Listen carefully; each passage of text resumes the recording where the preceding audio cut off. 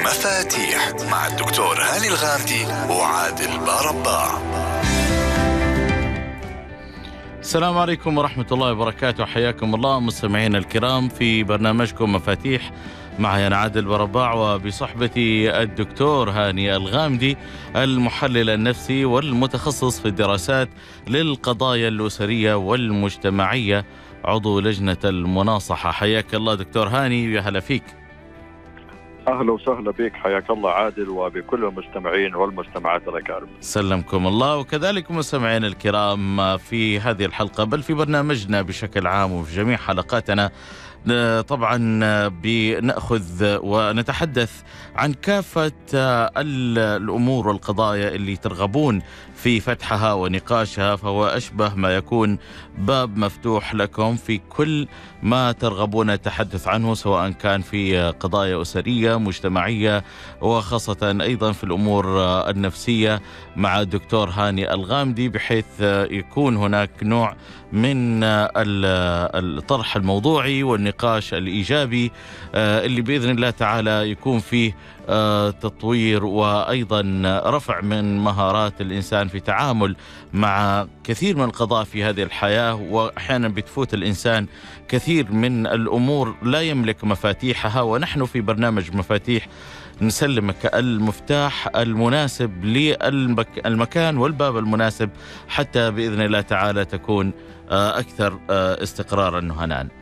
دكتور هاني طبعا ودنا طب نناقش بعض المواضيع لكن أذكر مستمعينا الكرام بإمكانكم التواصل معنا حتى يعني إذا رغبتم في نقاش أي موضوع ترغبون انه إحنا نتحدث فيه وجدتم إشكاليات فيه مع الدكتور هاني يعني يناقشكم فيه على الهاتف 011 217 8585 وكذلك على الهاتف الآخر 012 616 110 مرة أخرى هاتف 011 217 8585 أو على صفر واحد اثنين ستة واحد ستة واحد واحد صفر صفر.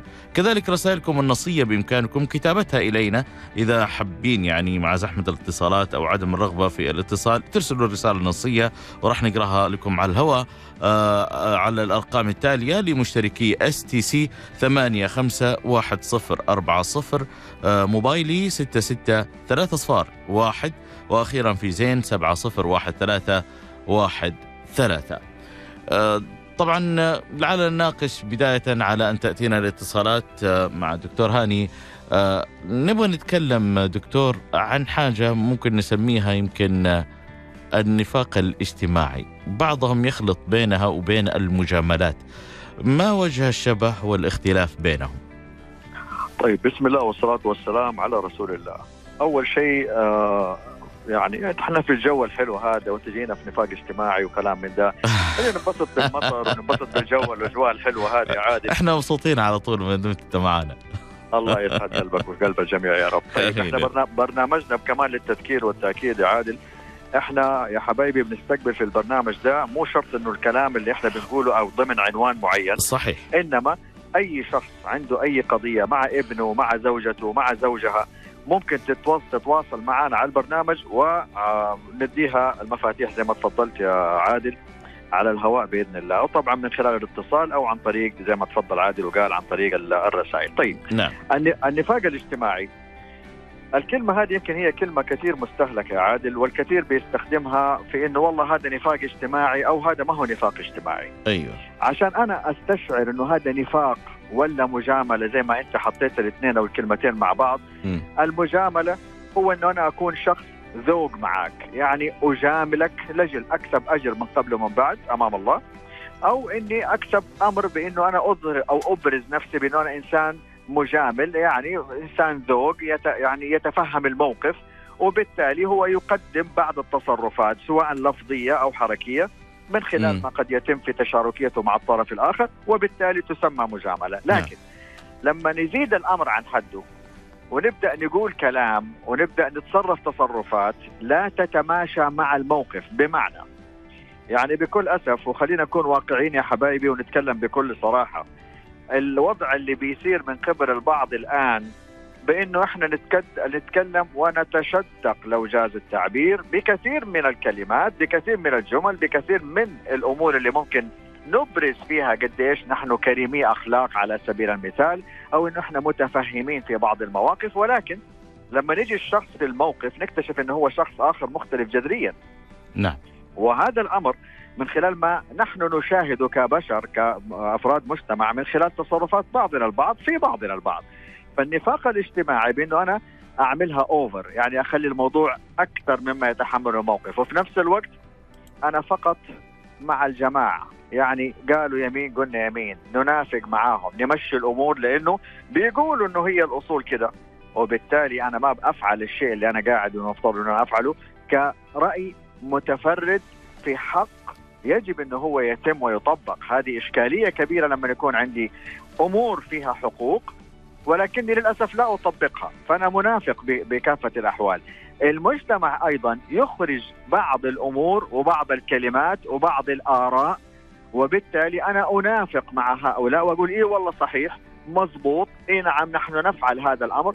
وهي في الآخر كلها يمكن بالبلدي كده نحطها تحت كلمة هياط قاعدين نهايط على بعضنا البعض وفي الآخر للأسف إحنا ما بنسوي ثلثين اللي قاعدين نقوله. هنا معناته إنه إحنا أصبحنا نمارس النفاق بمعناه الحقيقي. ما بالك لما يكون هذا النفاق على مستوى فكرة مجتمعية أو على فكر مجتمعي أو على آراء مجتمعية بينما أنا أعي تماما بأنه من المفترض انه يكون لي رأي متفرد.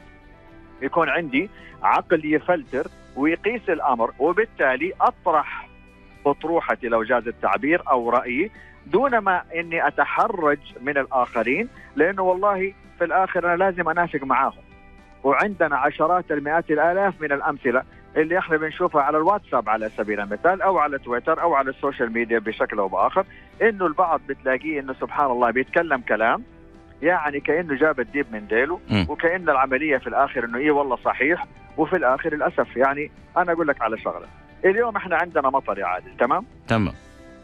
مو يمكن يمكن بعض المباني على قولتهم كده بالبلدي بالكلمة الجداوية تخرخر مويه. مم. مش يمكن تنقط مويه مش يمكن يصحى تهريب مويه. صحيح. مش يمكن يحصل الكلام ده. أمر عادي أمر طبيعي. حتى لو حصل سواء في قطاع حكومي ولا في وزارة ولا في مستشفى ولا في آه، مكتب معين لا بأس لا ضير بس ما ينفع إنه إحنا نرفع التليفون ونصوره. ونقول شوفوا إحنا والله يا جماعة الخير المباني الحكومية حقتنا إيش وضعها؟ أي. ويبدأ واحد ثاني يرد عليه ويقول له إي والله يا أخي الفلوس حقتنا راحت ما نعرف فين ويجي واحد ثالث يقول إي والله إحنا قاعدين في بلد للأسف متأخر. ويجي واحد رابع يقول يا عمي يا جماعة لازم نكون واقعيين شوية ترى ترى الأمور اللي بتحصل دي للمعلومية ترى أكثر بيوت تخرخر للمعلومية في أمريكا. واللي م. راح أمريكا وعاش يعرف إيش يعني؟ إنه البيوت تهرب موية. وترى الأمر هذا موجود في ألمانيا في فرنسا في كل الدول حتى الدول المتقدمة اللي هي الإسكندنافية على سبيل المثال اللي حياتهم فافيه ترى موضوع عادي. نعم. وما مش مش لدرجة انه إحنا نبغى كل شيء كده منظوم على قولتهم على سنقة عشرة. وإنه كل شيء نتصيد الأخطاء عشان نطلع في الآخر إنه إحنا منيلين بنيلة. يا أخي ليش؟ أرحمونا يا جماعة الخير. أرحمونا من هذا النفاق يلي إحنا للأسف لا إحنا فاهمين الغرب كيف عايشين ولا إحنا فاهمين الأمور كيف ماشية وبس متفر- متفرغين على حتة إنه امسك لي والله مستشفى حكومي يخرخر موية ولا سقفه مدري صار فيه ولا شوية موية دخلت علينا. يا جماعة الخير والله عيب والله العظيم عيب. هذه المشاهد وهذه المقاطع بياخذوها الآخرين ويعملوا منها الحب من الحبة قبة وبيتكلموا كلام ما له داعي. أعري بيتي طب أقول لك على حاجة وأقول لك على شيء. هل يعقل اليوم تروح انت تصور بيتك يلي انت بنيته بنفسك وتقول شوفوا بيتي الخيبان يلي ما انبنى مظبوط وإنه كيف بيخر موية على سبيل المثال ولا بيهرب موية؟ لا ينفع تسوي الكلام ده؟ لا ابدا. ما تقدر حيصير تسويه؟ مستحيل. تقدر تروح تجيب في بيتك تصور تقول شوفوا والله أنا غرفة النوم ما هي نظيفة؟ أو أقول والله شوفوا يا جماعة الخير أنا عايش مع زوجة ما حممت الأولاد على سبيل المثال؟ طب يا جماعة هذا الوطن هذا الوطن وطن. أروح أتكلم عنه؟ واقسم لكم بالله العظيم أنا أتحدث وجسمي يقشعر. أنا أنا أتحدث عن بيتي ولا أتحدث عن وطني. أنا أحش في بيتي ولا أحش في وطني بحسن نية بسوء نية ب- ب- بجهالة بهبالة. أنا ما أتكلم عن وطني. في ناس قاعدة مستنية على ال- قعدتنا على أي كلمة قاعدين نقولها. مم. شوفوا يا جماعة الخير في القنوات إيش قاعدين يقولوا عننا على أمور تافهة وسخيفة. اللي اليوم حيصور على فكرة إذا كان قطاع حكومي ولا مستشفى ولا غيره هربت فيها شوية موية بكرة اليوم في الليل حتلاقيه على واحدة من القنوات اتكلموا عننا وشوفوا الفلوس فين راحت وشوفوا الدولة هذه إيش فيها وشوفوا المسؤولين اللي عندهم كيف كيف كيف أسمح لنفسي أنا أسوي الكلام ده؟ كيف؟ كيف أتكلم عن بلدي أنا؟ وبتتكلم لمين أنت؟ أنت ما في إلا أنت وعيال الحارة اللي قاعدين بت- بتشوفوا المقطع ده، المقطع حقك هذا بيطلع علينا آخر الدنيا. المقطع اللي أنت بتسويه العالم قاعدة تتصيده برا. فلوس بتندفع عشان يجيبوا مقاطع زي هذه عشان يتكلموا عن وطنك وعن بلدك. معقولة أنا عندي جهالة للدرجة هذه؟ ولا هو نفاق؟ ولا هو بس مهايط؟ ولا هو أنا جهالة للدرجة هذه؟ ما أعرف. ما ينفع يا جماعة الخير ما ينفع. مو معقول أن يكون عندنا الذكاء اللي المفترض يكون ذكاء فطري ذكاء اجتماعي ذكاء موجود في مخنا بأي حال من الأحوال إنه نتنبه إيش اللي حاصل من حوالينا ونغطي عيوننا للدرجة هذه. وننافق لبعضنا البعض إنه والله جاب الديب من ديله، والله اليوم فلان صور تصويره، شوفوا بالله المستشفى هذه كيف تخر مويه، شوفوا بالله ال- ال- الشارع ده كيف مكسر. يا سلام ما في شارع مكسر إلا عندنا؟ إذا عندك شيء يا أخي يعني أقول لكم وقلتها 50 مرة، عندك تطبيق أي حفرة في الشارع صورها نص ساعة ساعة ساعتين يوم ويجوا ويحلوا لك المشكلة، إيه رأيك؟ الكلام ده جيب لي هو برا. أنا عشت برا سنوات 24 سنة نص قرن ده ربع قرن. والله الكلام ده كله ما في لا من زمان ولا الآن. أيوه ما عندهم شوارع مكسرة ما لك ما عندهم شوارع مكسرة. عندهم شوارع منيله بنيله عندهم وضع غير طبيعي. أنت يا سائح يا اللي بتروح سياحة بتنزل في فندق حلو خمسة نجوم نجمتين نجمة ونص إيش ما كان بس ما بتشوف ما بتدخل جوا ما بتعيش في البلد. يا جماعة الخير نحترم نفسنا شوية. بلاش نكون منافقين قدام أنفسنا. بلاش نكون منافقين لبعضنا البعض بهذه الطريقة اللي أساءت لكينونتنا كسعوديين. لكينونتنا كمجتمع سعودي لبلدنا لوطننا نتكلم عن نفوسنا بالدرجة هذه ما صدقنا على الله ندور لنا غلطة عشان نقعد نشهر بنفسنا ونقول للناس شوفوا بالله إحنا قد إيه خيبانين وبعدين هل هي دي خيابة؟ هل هو ده مقياس الخيابة أو مقياس النجاح؟ مقياس الخيابة إنه مبنى يخر موية معناته خلاص إنه إحنا بلد ما تنفع؟ معقوله إذا كان شوية أحداث بتحصل أصبحنا كل المجتمع ده بعظمته بكل ما يفعله أبنائه وحكومته ومسؤوليه كله يروح كده عشان والله فلان جاب لي مبنى بيخر مويه؟ إيش الجهالة دي؟ اذا فعلا إحنا لابد ننتبه لما نقول وما نرسل وما نتعامل قاعدين معه. هذا هو النفاق الحقيقي. نعم. لما نتكلم على النفاق هو ده النفاق الحقيقي. إن إحنا نعري نفوسنا لهذه الدرجة ونسوي نفسنا إنه إحنا فظيعين وإحنا للأسف قاعدين نعري نفوسنا على أشياء ترى موجود. هذه نقطة في بحر ما هو موجود في كافة الدول من حولك وكافة الدول المتقدمة وموجودة. يا أخي عندك بعض البرامج بتجيب لك يعني لو من غير من غير تسمية لكن هي برامج الواقعية اللي هي بتجيب بعض البرامج اللي اللي فيها أحداث وحوادث نعم وبرامج معروفة على على كثير من القنوات اللي موجودة عندنا سواء كانت قنوات تتبع المملكة أو قنوات خارجية. شوف الحوادث اللي بتحصل عندهم، شوف البيوت اللي بتطيح، شوف الكوارث اللي بتحصل، شوف ال ال ال ال شو اسمه ذاك اللي هو شبكة الغاز لما تنفجر في البيوت. يا أخي أنا على أنا واقف على على موقف قبل حوالي كم كم سنة. طب نذكر هذا الموقف لكن بعد الفاصل دكتور هاني بعد الفاصل عادي. طيب. حياكم الله مستمعينا. راح نطلع الفاصل لكن أذكركم أيضا بأرقام تواصلنا هاتفيا على صفر واحد واحد اثنين واحد سبعة ثمانية خمسة ثمانية خمسة أو على صفر واحد اثنين ستة واحد ستة واحد واحد صفر صفر. ابقوا معنا.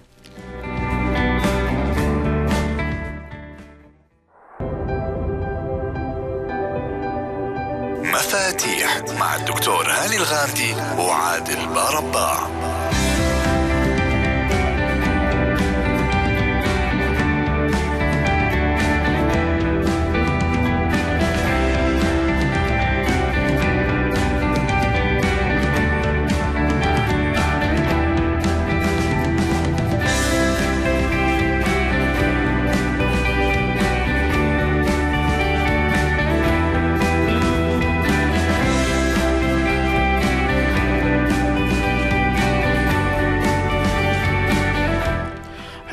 مستمعينا الكرام وعودة إليكم مرة أخرى في برنامجكم مفاتيح. ولكل من أراد أن يتواصل معنا لو لديك أي آه، طبعا آه، بعض الأمور اللي تبغى تبغى تسأل عنها تستفسر عنها آه، اتصال هاتفي على صفر واحد واحد اثنين واحد سبعة ثمانية خمسة ثمانية خمسة أو على صفر واحد اثنين ستة واحد ستة واحد واحد صفر صفر. ضيفنا الدائم في برنامج مفاتيح الدكتور هاني الغامدي المحلل النفسي والمتخصص في الدراسات للقضايا الأسرية والمجتمعية. حياك الله دكتور هاني. هلا وسهلا بك عادل. استوقفنا- استوقفناك قبل الفاصل. على قصة كنت بتقولها موقف. الموقف إنه كنت في أحد الدول الأوروبية المع- اللي معروفة في فرنسا تمام؟ وانفجر آه، حق الغاز هذا نعم وماتوا اللي في البيت تمام ما. طلعوا ما طلعوا هاشتاج أيوه وقالوا شوفوا والله بلدنا إيش فيها شوفوا حادث حادث عرضي يا أخي نعم تعال تعال عندنا إحنا لو صار أي حادث لو حصل حادث دهس أول واحد يقول لك فين المرور؟ فين المرور؟ مش عندك أنت فين المرور؟ إيش دخل المرور في الموضوع؟ فين الشرطة؟ فين الإسعاف؟ إحنا أصلا كده. يا كان موجود لين ما مات. انت تبغى اي شيء يصير لك في لحظتها؟ وقيت حكيت الحلقة اللي فاتت واللي قبلها. أنا كنت في باريس وكنت في ألمانيا وعشت سنين برا. والله العظيم المرأة في الميدان اللي قلت لكم عليها الأسبوع الماضي. أكثر من ثلاثة ساعات وهي قاعدة مكانها ولا أحد لمسها وماتت ولا أحد يقدر يقرب منها. يعني حتى إحنا عندنا عندنا الع- العاطفة ما شاء الله بتغلبنا من فضل الله ودي من نعمة الله علينا. يمكن لو شفت أنا أي شخص حاجة يمكن الملي مواشيله في سيارتي وأروح أوديه. برا القانون ما يسمح لك. نعم. فإحنا عندنا من فضل الله عندنا نعم. ليش ننكر هذه النعم كلها؟ أي موقف الآن يصير على طول هاشتاج يا ويل شفنا صرصار ولا فار أكرمكم الله في مطعم ولا في مكان على طول هاشتاج أطالب الجهات الرسمية إنها تحارب هذا الأمر لأنه هذا انحراف سلوكي لأفراد المجتمع، انحراف سلوكي لأفراد المجتمع، حيعلم أفراد المجتمع إنهم يتطاولوا على بعضهم البعض، يجب انه يكون عندي في وزارة الداخلية من من يعاقب هؤلاء، أي شخص أطالب أنا هاني الغامدي أطالب أي شخص يرفع أي تصوير أي مقطع بتشهيره حتى لو هو على حق على النت هذا يعاقب وعقابه عسير ويشهر به هو كمان. ليش؟ لأنه أنا عندي جهات رسمية يا عادل. الجهات الرسمية فاتحة أبوابها. عشرات المئات من التطبيقات موجودة. عندك شيء خاص بالبلدية؟ ارفع على البلدية. صوت صوت وصورة. موجود التطبيق. عندك شيء خاص بالمرور؟ ارفع. عندك شيء خاص بأي من الجهات الحكومية؟ ارفع. موجود. ما حد قال لك لا. ما حد قال لك أبوابنا مغلقة. لكن لا ترفع للنت. لما ترفعوا للنت يا أبنائي ويا بناتي ويا إخواني ويا إخواتي الغير بيتصيد نعم. ضف إلى ذلك. إيش تستفيد لما أنت تقول والله حصل حادث؟ لقينا صرصار ماشي في مطعم. فين المطعم ده ومش عارف مين وفين البلدية وفين المرور وفين الشرطة وفين يا عم إيش دخل دول كلهم؟ العالم هذه قاعدة تستنى الصراصير مره مره تطلع. كمون يا جماعة يكون عندنا شوية عقل. يعني ولا هي فرحة؟ آه تعالوا أقول لكم السبب إيش. السبب يا عادل كل من يسمعنا أنا ما صدقت على الله إني أمسك لي حاجة. لأني. أنا مهمش لأنه أنا مهتك أنا ما عندي أصلا قيمة إنسانية أمام نفسي. فلذلك أتشبث في القشور. أطالع لي في أي شيء. أي حاجة تطلع. المهم أحس إنه أنا آه الحمد لله. اليوم طلعت بحاجة. كفشت صرصار ماشي في مطعم وصورته وشهرت فيه الحمد لله. أحمدك يا رب. بالله هذا مو سخف بالله ما هذه فراغة عقل. بالله ما هذه تهميش بأن أنا هذه الدرجة ما عندي ثقة بذاتي. الإشكالية إنه لما واحد زي هذا يطلع الج... ال- البعض يجي يرد إيه والله صح فين البلدية؟ وهذا وضعنا. وتعالوا شوفوا إيش عندنا. وصل لما كلمناهم قعدنا مش عارف مين. قبل شوية بقرأ إعلان واحد غلبان جزاه الله خير بيقول بيسوي إعلان. حشوه حش يا راجل ما خلوا له جنب يتكي عليه. بالرغم إنه هو على فكرة جهة رسمية. وموثق ومعروف واللي قال لك أنا لما نتصل عليكم ساعتين أحد أحد جهات الاتصال أوكي؟ أحد شركات الاتصال. مسوين إعلان. شوف الحش اللي نحشه. ليه يا جماعة الخير كده إحنا صرنا؟ ليه أصبحنا بهذا السوء؟ ليه أصبحنا بهذا النفاق؟ ليه أصبحنا بننافق لبعضنا البعض؟ ما عندنا كلمة خير نقولها. يعني أنت لما قلت لي والله إنه هل يعقل شركة اتصالات تقعد ثلاثة ساعات تتصل عليها وما ترد عليك؟ لا يا راجل يا راجل عندك في في شو اسمه ده على الجوال حقك في رقم تدق عليه مدري نجمة مدري مربع مدري إيش هو يرد عليك ال- الم- الموظف. ترى كلمة ساعتين أو ثلاثة هذه ما تنزل من زور. ليش؟ ليش بنكذب؟ ليش وليش وصلنا للمرحلة دي؟ معقول الخدمات لهذه الدرجة سيئة في بلدنا؟ مين قال إنه خدماتنا سيئه؟ والله الذي لا إله إلا هو أقسم بالله العظيم إن كنا نقعد بالأيام ونتبهدل ولا في أحد يوقف معاك ويعقدك 20 عقدة عشان تروح وترجع بالابلكيشن حقك عشان تبغى تاخذ حاجة في الجامعة ولا تبغى تسوي شيء في أي جهة حكومية موجودة في الخارج. عندنا الآن كل شيء مسهل، إحنا عندنا حكومة إلكترونية شبه متكاملة. كل ده ما إحنا شايفينه كل ده برضه إحنا ما زلنا ننافق ونقول إحنا فينا وإحنا فينا وإحنا فينا. كل ده وإحنا ما زلنا ننافق لبعضنا البعض. إن إيه والله إحنا أسوأ ناس. ما زلنا ننافق لبعض إنه إحنا والله خدماتنا سيئة. ما زلنا ننافق لبعض بالباطل. متى نصحى يا جماعة؟ متى نصحى؟ كفاية. كفاية اللي بيحصل فينا. كفاية تسيئوا لي أنا كسعودي. كفاية الوطن على فكرة مو ناقصك. ولا يهمه ترى الوطن. الوطن شامخ. الوطن عارف بالضبط وين رايح. هذا ليس تطبيل هذه واقع وحقيقة. أي عاقل أي معاقل أي مجنون حيشوف الوطن فين ماشي. مو العاقل المجنون عارف إنه الوطن بيتقدم. مش العاقل.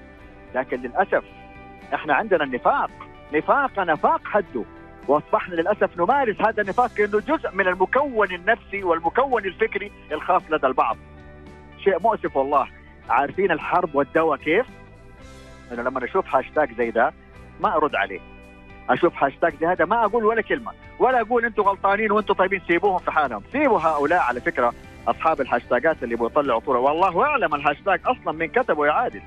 فعلا. لأنه الهاشتاج هذا من فين جاء؟ من واحد زي حكايتي أنا. صور وراح أرسل لقطوا واحد في مدري في أي دولة وسوى هاشتاج وعمل نفسه سعودي. ولما تتكلم معاه كلمتين تكتشف إنه هو أصلا لا يفهم في السعودية ولا هو داري السعودية فين. أو أشخاص آخرين ليس مجال حديثنا. ما هو اللي يفهم في الأمن ويفهم في في البعد الاستراتيجي الأمني ويعرف الوضع في البلد هنا إيش. ساعتها حيصحصح للأسف عندنا شوية ناس مهايطة وما هي دارية وين الله حاطها وما هم دارين وش اللي حاصل. للأسف بنسيء لنفوسنا جالسين يا بناتي ويا أبنائي يا كبار ويا صغار. نلم نفسنا شوية. عيب إنه إحنا نتعرى قدام الآخرين. بإنه إحنا سذج لهذه الدرجة ينضحك علينا بهاشتاجات عيب إنه إحنا ينضحك علينا من خلال ناس حاقدة وعارفين الهدف. وكل يوم بنتكلم فيه وللأسف ما زلنا نقع. عارف وقوعك متى لما تؤيد إن شاء الله واحد بيتكلم على رملة رملة تراب من بلدك. ما ترد عليه. رملة تراب من بلدك. حتى لو تبغى ترد ترد تقول له اتق الله وعيب اللي أنت قاعد تسويه. هذا لو تبغى ترد. إنما نقول له إيه والله؟ ولما تيجي تكتشف في الآخر مين هم؟ ترى هذول فئة عمرية معينة. والفئة العمرية هذه للأسف أقول لكم المفاجأة للأسف فيميل بنات. والفئة العمرية هذه وأنا أقولها وأنا محارب لهؤلاء وقد ما بيحاربوا فيا وقد ما بيدوني على دماغي وقد ما بيحاولوا يعتقدوا إن هم والله بيشهروا فيني والله ما فرق معايا بشيء. النسويه وإسقاط الولاية هذول هم اللي قاعدين لي وأنا قاعد لكم. هذول هم اللي أنا أرد عليكم ليل ونهار لأنه أنتم عارفين الحرب اللي أنا داخلها معاكم من فترة طويلة وعارفين في الآخر إنه أنا حفضل أرد عليكم مهما قلتوا عني ولا عن غيري. للأسف إنه إحنا مش متنبهين إيش اللي قاعد يحصل؟ اللي قاعد يحصل إنه في عندنا تكتلات هي اللي بتتصيد في الماء العكر. واللي بيصيد في الماء العكرة أنا ما أقبل إنه بنتي ولا ابني ولا أنا ولا زوجتي ولا أهلي ولا أفراد مجتمعي يشوفوا هذا الغث. لكن للأسف إنه البعض ممن هم مننا يزلق. ممن هم مننا ينافق. يدخل في العملية النفاق اللي تكلمنا عنها دي. العملية تحتاج لصحصحة شوية. الموضوع ما هو موضوع نفاق اجتماعي فقط. إحنا يمكن أخذنا المفهوم اليوم في موضوع النفاق الاجتماعي يا عادل وكل من يسمعنا بمنحى أخرى أكبر وأعظم من إنه إحنا نتحدث بال... بالكلمة الكلاسيكية أو الكلمة المكررة كلمة نفاق اجتماعي. أنا اليوم حورتها إلى شيء أعظم لازم إنه إحنا نتنبه ونصحى ونشوف إحنا إيش قاعدين بنهبط في نفوسنا. النفاق الاجتماعي فاق حده لأنه أخذ منحى أصبحت تأثر على سيرة رملة من وطني. هنا أقول لك وقف. هنا لازم لازم تتعلم. وهنا أنا طالبت الجهات المعنية بأنه أي من من هم جاهل أو قاصد يرفع أي مقطع عن أي شيء بالتشهير سواء في شخص أو في آه، شخصية اعتبارية أو في مكان بعينه يجب أن يحاسب ويشهر به. إذا كنا إحنا كرهانين إذا إحنا حابين التشهير لا إحنا نشهر بيك برضه أنت اللي تصور. لازم هذا السلوك يتوقف. لازم اليوم يتوقف. لازم يكون كل الجهات الحكومية حاطة يدها في يد بعض اتصالات ووزارة داخلية وشرطة وأمور أخرى موجودة ممكن حتى عن طريق المباحث أو الاستخبارات لازم نوقف هذا الأمر أنا أناشد وأطالب بتاريخ اليوم بأنه لو استمر هذا الأمر لفترة من الزمن فهو للأسف داء. يعني حيتفشى بشكل أكبر مما هو عليه الوضع الحالي واللي بيغير الفكر المجتمعي أنا كمتخصص عندي أطروحاتي وعندي مشاركاتي في كثير من القطاعات نبهنا وما زلنا ننبه. ونقول اضرب بيد من حديد عمن يتحدث عن حبة رمل لها عن هذه البلد. بجهالة بحسن نية أنا مو شغلي. إذا أنت بجهالة تتعلم وإذا بحسن نية تتعلم وإذا كنت قاصد تاكل على راسك بالقانون والنظام. لكن أنا ما أسمح أنه كل يوم والثاني واحد يطلع لي ويتكلم لي على أشياء للأسف يقول لك والله قالوا. وننافق لبعضنا البعض إي والله عندنا إي والله البلدية فين إي والله المرور فين إي والله الصحة فين. مالك ومال الصحة والمرور البلدية إذا أنت ما أنت فاهم شغلهم. هذول الناس مستأمنين واقفين على حد الله سادين ثغرة وعارفين شغلهم والدولة مش نايمة عن أي مقصر. ويوم ما أحد فيهم يقصر مو شغلك. الدولة تعرف كيف توصل له وكيف تحاسبه. لكن ما أعري أهل بلدي ولا أعري وطني. واجي قدام الله وخلقه وأنشر وغيري يروح يتصيد المقاطع والكلام الفاضي اللي قاعد يصير من عيال بلدي عشان في الآخر والله أنا بقول كلمة حق لا ده نفاق وجهالة وتحاسب عليها ويجب أن يكون هناك قانون يحاسبك على هكذا جهالة وعلى هكذا انحراف فكري. لو استمر يا جهات يا معنية ترى إحنا في خطر. فلا بد إنه يتخذ الإجراء اليوم. والأطروحات موجودة والأمور موجودة وأشياء قد شاركنا فيها وأشياء نتمنى نشارك فيها بحيث إنه في الآخر يكون عندنا إيقاف لهذا السخف من التسونامي يلي حاصل بيننا من نفاق اجتماعي بالمعنى المؤثر على كلمة وطن. نعم. آه راح نطلع الفاصل. مستمعينا الكرام مذكر أنا وياكم. آه تواصل معنا عبر الهاتف 011 217 8585 أو على 012 616 1100 خليكم معنا.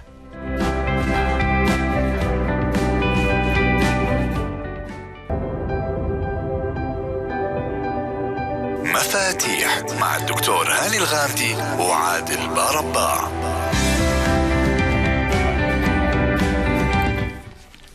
حياكم الله مستمعينا الكرام. أيضا للتواصل عبر رسائلكم النصية على STC 851040 موبايلي 66 3 صفار واحد وفي زين 7013 معنا اتصال عبد الرحمن. ألو السلام عليكم. يا هلا وعليكم السلام. تفضل عبد الرحمن. وعليكم أخوي بس أبغى أرد على الضيف اللي عندك اللي قبل شوي. أيوه. في إنه فصل الوطنية في إنه ما أحد يتكلم ولا أحد ينتقد وإنه كل واحد حيأكل على رأسه. يعني هذا للأسف يعني هذا شيء يرجعنا للسنوات. الوطنية نعم. للجميع والوطن للجميع ولا يفصل لأحد. أنا لما ننتقد زي الآن أنا ماشي في شارع جدة في شوارع جدة وانتقد البلدية وال ووزاره المياه مثلا. نعم. في الموية الموجودة في الشوارع. هذا لا يسقط من وطنيتي. نعم. بالعكس بل يأكدها. وهذا ما أكد عليه ولاة الأمر في الوطن. جميل. لكن إن يأتي زي ضيفك الكريم نعم. ويفصل الوطنية وبأسلوب تهديد وإنه سوف ما أدري إيش الجهات الرسمية تأخذ فيها قرار وإنه سوف يتم متابعتهم أو ما أدري إيش بهذه الطريقة. عارف ولكن الوطن للجميع واللي بينقذ الوطن عن حب بيكون واضح واللي بيحب يطبل للوطن لأغراض أخرى واضح. نعم. شكرا. أه، الله يعطيك العافية. شكرا أخوي عبد الرحمن. والدكتور هاني لعله يرد على هذا اللبس ما بين الإفراط وتفريط. كيف فعلا الواحد يوازن بين هذين الأمرين؟ أه، أيضا هناك مداخلة للأستاذ نزار رمضان. حياك الله أستاذ نزار. السلام عليكم أستاذ عادل. وعليكم السلام ورحمة الله وبركاته. هاني دكتور هاني أستاذنا ويعني كمان سمعت مداخلة أخونا الآن من شوية اللي تكلم نعم. آه، يمكن آه، مش عايز أقول في أي مجلس من المجالس نجلسها يكون الدكتور هاني الغامدي هو أول واحد آه، ويعطى صفة انه هو هجومي ينتقد دائما ولكن كيف الانتقاد وما هو إطار الانتقاد وإزاي أتكلم ومتى نعم. أتكلم ومتى أسكت. يا سلام. آه، الفكرة أستاذ عادل الفكرة يا دكتور آه، هي مدارسنا آه، فاضيه تماما من ممارسة آه، آه، أدبيات الصراحة. نعم. أو إحنا ممكن بندرس في التوحيد آه، النفاق الأصغر والنفاق الأكبر وبنتكلم على الشرك الأصغر والشرك الأكبر وغير ذلك. ولكن يعني لم يتم تفعيل زي مجالس الشورى مثلا اللي موجودة. هتوضح لي تماما أنا إمتى أنتقد ومتى أنتقد وما هي الوسائل اللي أنا أتواصل منها من خلال اللي أنا أمارس عملية الإصلاح. نعم. آه، دي نقطة، النقطة الثانية آه، وهي لم نتدرب آه، كأولياء أمور آه، آه، وندرب الأبناء في أدبيات التعامل مع وسائل التواصل الاجتماعي. يعني الدكتور بيتكلم إن حادثة ممكن تكون بسيطة وبنعمل من الحبة آه، قبة، نعم. وي وي والكلام هذا لأن أبنائنا إحنا ما ربناهمش كآباء وكأمهات على كيفية التعامل مع أدبيات التواصل الاجتماعي، أتمنى من الدكتور هاني آه، يعني يعرج في نقطة آه، نقطة المدرسة ونقطة البيت. تمام وشكرا للبرنامج المتميز شكراً لك. مع ضيفك ومعك أستاذ عادل. شكرا شكرا لك أستاذ نزار حياك الله. آه طبعا دكتور هاني كان المتصل الأول أخونا عبد الرحمن.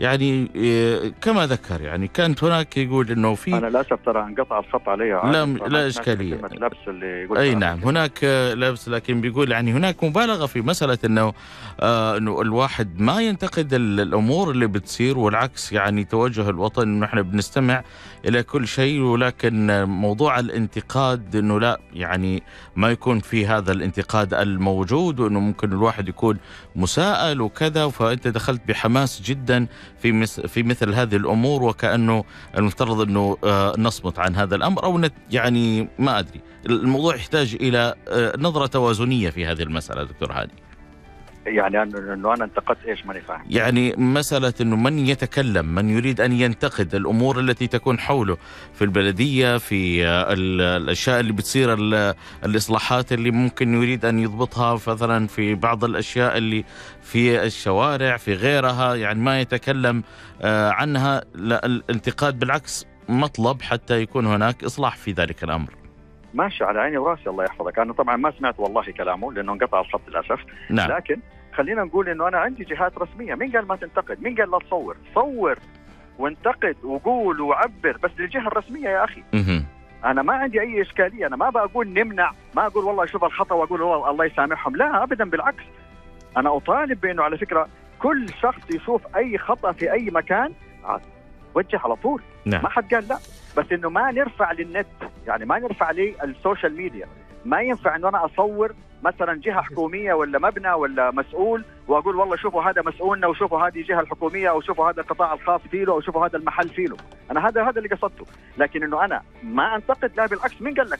إحنا كلنا نطالب على فكرة بان إحنا ننتقد بس الانتقاد المحمود. بمعنى أنا عندي أمر موجود خاص ببلديه عندي تطبيقات موجودة تطبيق موجود أرسل للبلديه بالصوت والصورة. نعم. هذا اللي أنا قلته. أنا ما سمعت كلام الأخ يعني هو كان بينتقد بي يعني عتبه على إيش؟ كان يعادل. إيه على موضوع إن آه يعني حماسك في مسألة أنه لا ما ننتقد وما نتكلم بهذه الطريقة وب ويعني بهذا الشيء يعني بهذا الشأن أنه موضوع الانتقاد بحد ذاته ما نتكلم فيه. لا لا بالعكس نتكلم وننتقد ونوجه لكل جهة حكومية شوف الشيء اللي هو يتبع لهذه الجهة وارفع لها. ما حد قال لك لا ابدا. أنا كل اللي أنا أطالب به عملية إنه ما ينفع إنه أنا وكأني جاسوس على نفسي إنه أنا أروح أصور جهة حكومية ولا أصور مسؤول ولا أصور أمر معين وأرفعه للنت وأقول شوفوا يا جماعة إيش اللي عندنا. أنا هذا اللي قصدته اعتقد إنه كان كلامي واضح بارك الله فيكم. هذا اللي أنا قصدته تحديدا. وما ينفع إنه إحنا بعد ذلك نلاقي ناس كمان يردوا علينا عشان ينتقدوا في بلدي. أنا ما أسمح لأحد إنه هو يتكلم وأنا وصفت الوصف وقلت ما ينفع إنه أنا أصور بيتي. وهذا وطني هو نفس الشيء وطني أهم حتى من بيتي. فبالتالي أنا كلامي عشان للتوضيح للأخ لأني والله ما سمعت كلامه. ولكل من يسمعنا إذا أنا ما أحسنت شرح نفسي في هذه النقطة فالعملية اللي أنا أقصدها إنه إذا عندنا أمر معين موجود على طول ما حد قال لك توقف. لكن روح للجهة الم... ال... ال... الاعتبارية اللي تابعة لهذا الأمر وارفع لها ما حد قال لك لا. نعم. أنا كل عدم رضاي على حتة إنه أنا أصور شيء وأروح أرسل وارفعه في النت وأعمل عليه انتقاد ويجوني بعد كده ناس ينتقدوا في أشياء موجودة. للأسف لا أنا بلغت ولا أفدت. والجهة الحكومية منتظرة. جميل. كل الجهات الحكومية منتظرة. عندها تطبيقاتها وعندها أرقامها وعندها خ- خدمة العملاء وعندهم كل شيء. جميل. فليش ليش أنا أرفع لي أتكلم عن الدفاع المدني مثلا؟ الدفاع المدني آه والله ما ما عرف يطفي الحريقة، ليش؟ طبعا إذا كان في أمر شايفه قدامي أحد أفرادهم ما عرف يطفي الحريقة وهذا المثل اللي قلته الأسبوع الماضي ومعناته في ساعتها ممكن تصور صور راح قال لك لا أرفع للجهة المعتبرة هذه اللي هي الدفاع المدني، قول يا جماعة الخير الفرد هذا يحتاج إلى تدريب أو الفرد هذا أخطأ. لكن ما آخذ ال- ال- المشهد ده وأرفعه للنت وأقول شوفوا يا جماعة الخير الدفاع المدني عندنا كيف وضعه، لا ما يصير. هنا أنا أقول لك لا معليش، هنا لازم يكون في عندي عقوبات، هذا اللي أنا قصدته، تفضل عادل. جميل. آه، طبعا حن آه، ترد على اتصال أخونا نزار لكن عندنا سعد. مرحبا. السلام عليكم ورحمة الله. وعليكم السلام ورحمة الله. حيا الله سعد. معك فهد الحميري من اليمن. حياك الله أخوي سعد. يا أهلا. الله يسعدك. خلينا انتهز الفرصة اولا وأقدم شكري الكثير لك المذيع المتألق عادل بارباع الله يسعدك. وهذه أول مرة أشارك لكم في إذاعة ألف ألف FM. يا هلا فيك. أنا أتفق مع الاستاذ هاني بخصوص الهاشتاجات المسيئة وهذه عانيناها كثيرا آه، خلي أتكلم بنطاق ما بين اليمن والسعودية في فيما يخص حربنا الآن مع الحوثيين. انتشرت هنالك هاشتاجات هاشتاجات كثيرة آه، آه، من هذه الهاشتاجات عنصرية تسيء بين البلدين. أستغلتها نحن نعرف أن هناك مطابخ إعلامية وغرف إعلامية كبيرة تدار من من من بيروت ومن إيران ومن فهذه تستغل الهاشتاجات تدخل بأسماء مستعارة إذا دخلت وشيكت على الأسماء تجد أن نعم. يعني المتابعين من اثنين إلى ثلاثة إلى أربعة إلى مئة بالكثير مهم. فأغلبهم بأسماء يمنية وأغلبهم بأسماء سعودية ويعني كل واحد يتبادل الشتائم فيما بينهم وهذه نعم. عانيناها. الخطوة نعم. الثانية هي ما تطرق له ال- ال- الأستاذ هاني هي عبارة عن إسقاط الولاية والنسويات. الآن ظهرت لنا نسويات يمنيات. نعم. هذه هي أسماء وهمية يعني لمساندة ل- ل- لعمل أن مساندة النسويات في السعودية. وهذه كلها نعرف من يديرها من الخارج. نعم. لهذا أنا أتفق مع الأستاذ عادل وأقول مع الأستاذ هاني وأقول يا ريت لنا يعني ربع الربع من الخدمات التي موجودة في ال- المملكة العربية السعودية ومن فقد الأمن في بلده يعني آه، يحمد الله ويشكره على الأمن اللي موجود الحمد في لله. بلد آه، ال- ال- ال- الموطن الأصلي. نحن نعم. فقدنا الأمن وفقدنا الأمان ودخلنا في حروب ومشاكل إلى حد الآن يعني نتمنى ربع ربع الأمن الذي تعيشه المملكة العربية السعودية. نسأل الله سبحانه وتعالى الأمن والأمان لجميع الدول العربية بإذن الله تعالى والإسلامية. شكرا لك أخوي سعد الله يسعدك شكرا الله. الله يسلمك آه حناخذ تعليق منك آه دكتور هاني لكن نطلع الفاصل وأذكر المستمعين الكرام بأرقام التواصل هاتفيا على 011 217 85 85 أو على الهاتف الآخر 012 616 1100 خليكم معنا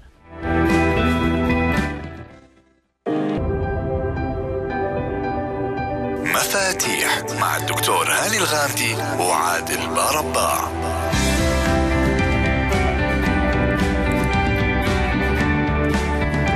عودة لكم مستمعينا الكرام. حياكم الله. دكتور هاني الغامدي ضيف حلقتنا في الضيف الدائم في الحلق في برنامجنا مفاتيح.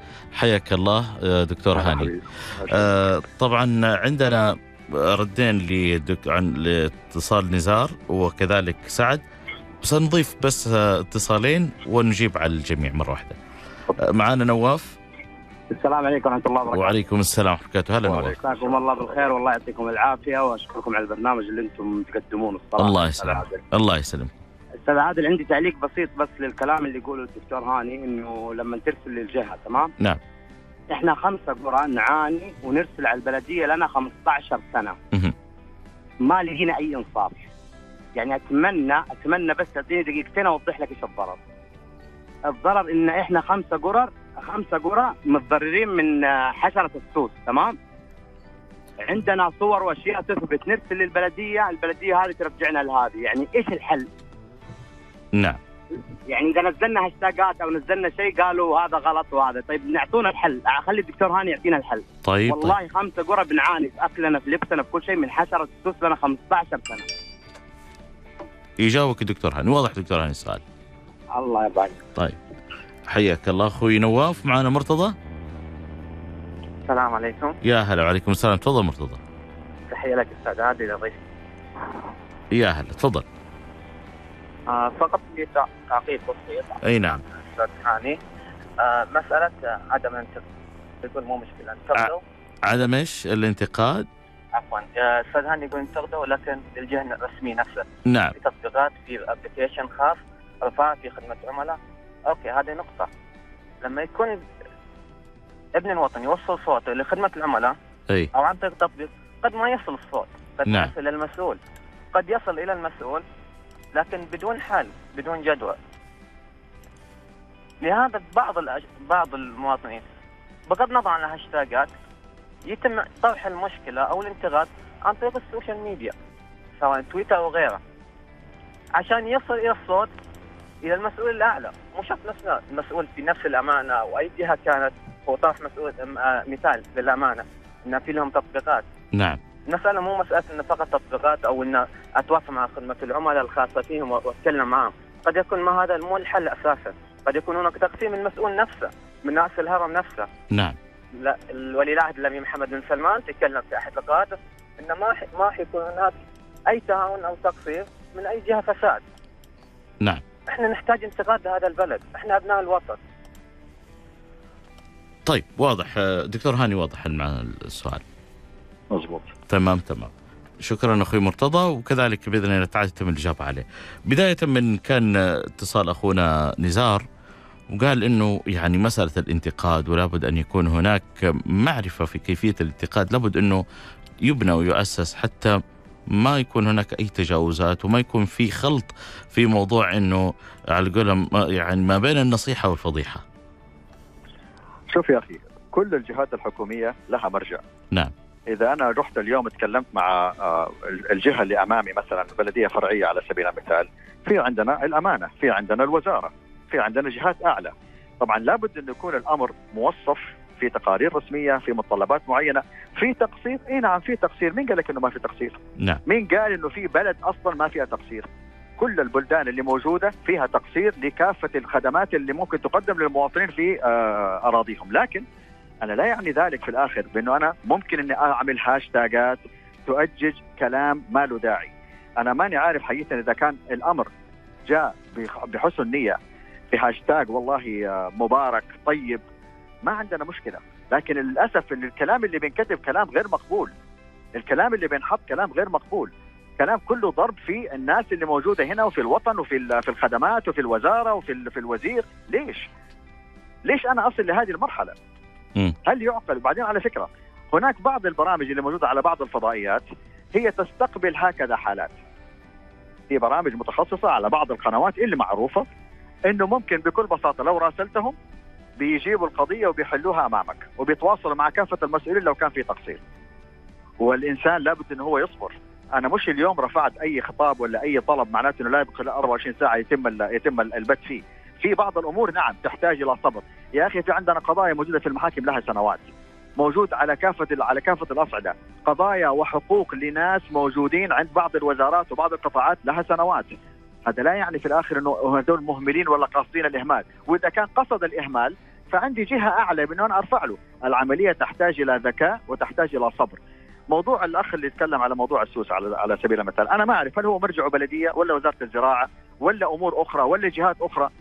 فين فين العمدة؟ فين المسؤول عندهم؟ فين ال- العريفة حقهم؟ ليش ما لا تم الرفع عن طريق آه، الهد أو الشخص المسؤول في هذه القرية أو تلك؟ أنا ما أعرف. فأنت لا تجيني في توصيف لحالة محددة وتقول لي والله شوف أنا الحالة حقتي هذه وما سووا فيها اكشن الحالة حقتي كذا وما اتخذوا فيها إجراء. لو كان على نقعد حنمسك بكل حالة حنطلع كل الجهات الحكومية وكل القطاعات الحكومية والخاصة إنه فيها عندها تقصير وهذا هو طبيعة البشر. لكن يجب إنه أنا يكون عندي كمان فهم إيش هي العملية التدرجية لل- للمجال الأعلى عشان أقدم شكوتي. أنا رحت اليوم اليوم أبى أشتكي أبى أشتكي عادل برباع حاشاك يا عادل طبعا. يسلمك. رفعت رفعت خطاب. ما ما ما اتخذوا إجراء. نعم. اللي بعد ذلك الاذاعه مين مسؤول عنها الاذاعه مسؤول عنها الوزارة. نعم. أروح للوزارة. فبالتالي أنا عندي تدرجية لابد أن أنا أفهم أنا فين رايح وإيش هو الأمر وكيف حيتم وإيش ال- ال- ال- العملية التدرجية هذه اللي أنا أصبر عليها لما آخذ حقي. لو كان لي حق. ربما يكون في عندي بعض الأمور يعني أنا أقول لك على حاجة. بعض الأشخاص بيشتكي وأنا ما أتكلم على الأخ اللي اتكلم على موضوع ال- السوسه أو غيره آه، أحد الأشخاص في أحد المدن في شمال السعودية. راح اشتكى لوزاره لل- للوزارة على موضوع خاص بمزارعه واشجاره وأشياء زي كذا. اكتشفوا في الآخر إنه الأرض أصلا ما هي حقته. بوضع اليد فين الصك؟ والله هذه حقتي. طيب في الحالة هذه لا إنه هو على قولتهم لا إنه ستر على نفسه وك- وك- وكمل بالأشجار اللي عنده. ولا انه ورجعت الوزارة في الآخر أخذت الأرض. قام سوى مشاكل إنه كيف أخذوا أرضي وكيف سووا مش عارف طيب يا أخي ما لك حق من أصله. فللأسف إحنا لما ناخذ حالة إحنا نسمع من جهة واحدة نسمع بأذن واحدة ما نسمع بالأذنين ما نسمع بكافة المعطيات اللي موجودة في يدي. وبالتالي يبان قدامك إنه سين من الناس والله هو له حق أو سين من الناس في تقصير في حقه. لكن أنا ما سمعت مجمل القضية. لذلك حتى القضايا اللي موجودة عندنا في المحاكم أو في غيره تأخذ وقتها ليش؟ وكأنها تنطبخ بحيث إنه في الآخر الأمر يحتاج إلى طبخة. يحتاج إنه يكون عندي عناصر لابد انها تكون متوفرة. وبالتالي الجهات الرسمية مع هذه الكثرة لكافة الحقوق لكافة الأشخاص اللي يهمني في الآخر أمر أحادي لازم إن أنا أحطه في بالي. إحنا ما عندنا شيء اسمه ناس مقصرة بقصد. ربما مقصر بإهمال ربما مقصر بلخبطة في السيستم ربما مقصر بأمور آه، تحتاج إلى تطويره أو تدريبه. لكنه شخص كده قاعد ماسك منصب وعيني عينك يظلم العباد أعتقد إنه في عندنا قطاعات حكومية أعلى تتخذ إجراء فيه. أنا هذا اللي قصدته. وأعتقد إنه كلامي واضح الآن. إذا عندنا أي شخص جيت أنا أتكلم وأتواصل مع أي وزارة أو أي جهة رسمية وقصر هذا الفرد لا يعني بانه أنا أضرب السيستم كله، لا يعني انه أنا أضرب الجهة كلها أو أتهم الجهة كلها. بالكلية، معناته عندي إشكالية في فهمي للإجراء. لابد يا أحبتي انه نكون إحنا هادئين شوي بحيث انه إحنا نعرف إيش هي ال- التدرجية في عملية الحصول على الحق. والحقوق بارك الله فيكم. لابد إنها تأخذ وقتها، لازم يكون عندي شوية صبر والأمور اللي إحنا موجودة عندنا كتوتل كمجمل في هذه المملكة من فضل الرحمن إنه في الآخر الحقوق ما بتهضم لتلك الدرجة اللي فيها ظلم واعر، فيها ظلم عيني عينك،. لأنه إحنا الآن أصبحنا متهمين بإنه في للأسف عندنا ظلم من الحكومة، عندنا ظلم من ال- الجهات الحكومية، عندنا ظلم من المجتمع، عندنا ظلم من من الأهالي، عندنا ظلم من الأبهات، أصبحنا كلنا ظالمين. ال- الآخرين بيتكلموا عن إنه إحنا مجتمع ظالم. كل من هو يتعامل مع السعودي هو يتعامل مع شخص ظالم أو كينونة أو مكون ظالم، لا معليش إحنا ما إحنا كده. إحنا ابدا ما كنا كده ولن نكون كده ولسنا كذلك أيضا. لكن في حقوق يجب إنها تأخذ إجراءات معينة، طب في مظالم في النص اي نعم في مظالم، في ظلمة اي نعم في ظلمة، مين قال ما في؟ الأمر هذا كان موجود من أيام المصطفى صلوات الله وسلم، كان في قضايا تأتي إلى المصطفى صلوات الله في ظلم في حقوق. طب فين الرسالة؟ جاري وفي نفس المدينة موجود المصطفى صلوات الله وسلم وأظلم انه وجه هذا اللي ممكن يظلم؟ هكذا هي حال البشر يا أحبتي. هكذا هم البشر، هكذا هي الحياة. يجب أن يكون عندي هدوء شوي عشان أعرف وين آخذ حقوقي، أما إذا كان أحد له ما اخذ على كلامي فأنا والله لا أتحدث إلا من حرقتي على هذه البلد، لا أتحدث لأني عرفت وقارنت. عندي شيء بالمقارن والمقارن به لما عشت ربع قرن في دول مختلفة. عرفت النعمة اللي إحنا فيها. لذلك أنا حريص بأنه أنا أتكلم بهذه بهذه الحماسة. لو اعتبرناها حماسة. لأنه في الآخر بلد مبارك فيه قصور فيه قصور في كل الأماكن. ليش؟ لأنه إحنا بشر. هكذا هي الأمور. لكن كنسبة وتناسب إحنا بعيدين عن دول أخرى كثيرة. لو رحتوا وعشتوا فيها حتعرفوا معنى هضم الحقوق فيها. يا أحبتي إلى يومكم هذا لما يتحدثوا بعض الدول الأجنبية عن حقوق المرأة أو حقوق الطفل شوفوا اللي بيصير في البيوت. شوفوا اللي بيصير في, في الأسر. في أشياء كثير مهضوم حقكم فيها. للأسف إحنا نشوف زوايا معينة. إحنا عندنا نعم. موقف شفناه قبل كم أسبوع مسؤول ك... مسؤولة كبيرة في أحد الدول راح تجري زي أم العروسة فاهمين ولا ما أنتم فاهمين؟ يعني يا جماعة الخير لازم يكون عارفين لما شخص مسؤول زي هذا ينزل عشان يمشي زي أم العروسة عشان يهتم بشخص ما ما عرفنا ورا القضية إيش؟ ما فهمنا إيش المعنى؟ لهذه الدرجة نعرف نفوسنا إحنا وفي الآخر نقول والله هذا حق من الحقوق لا هذا مو حق من الحقوق معليش لما شخص يسيء لبلدي والوطني والأهل بلدي أنا أزعل ساعتها. والجميع المفروض انه هو يزعل. ليش؟ لأنه هذه حرقه حرقة وطن. وإن شاء الله وصلت. الرسالة دكتور هاني مجتمع. فاللي نعم. فهمني جزاه الله خير واللي ما فهمني برضه جزاه الله خير ولكن الإطار هو إطار خير وبركة وليس إطار بأن أنا أنتقد ولا إطار ان أنا أطالب بأمور ليست في المنطق. وإذا كان كلامي يرد عليه فجزاكم الله خير. أنا إنسان وبشر أغلط. نعم. إذا كان في كلامي خطأ ردوا عليه وجزاكم الله خير. بس الله يخليكم ردوا عليه بهدوء. إن شاء الله. يعطيك العافية دكتور هاني لأنه وصلنا إحنا لنهاية الحلقة.